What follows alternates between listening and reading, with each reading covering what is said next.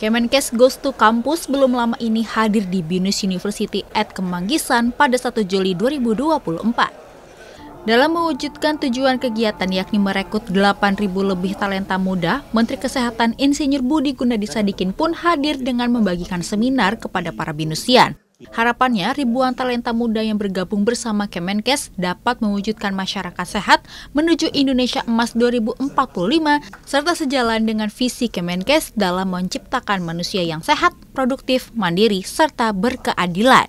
Ini sejalan dengan visi dan misi BINUS University yang berkomitmen untuk menghasilkan SDM yang siap berkarir dan berkualitas tinggi yang akan berguna bagi industri dan masyarakat. Harapannya, kegiatan ini dapat menjadi motivasi bagi para binusian untuk aktif dalam sektor industri kesehatan serta berkontribusi langsung dalam mencapai Indonesia Emas 2045.